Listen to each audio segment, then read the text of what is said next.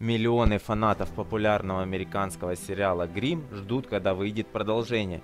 Телепроект, созданный киностудией Universal TV и режиссером Норберта Барбара, пользуется огромной популярностью во многих странах.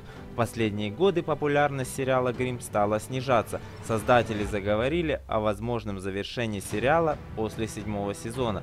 Зрители ждут, когда станет известна дата выхода новых серий на канале NBC. В начале сентября стало известно, что создатели сериала и руководство канала приняли решение о закрытии сериала после шестого сезона, а это значит, что продолжения сериала не будет.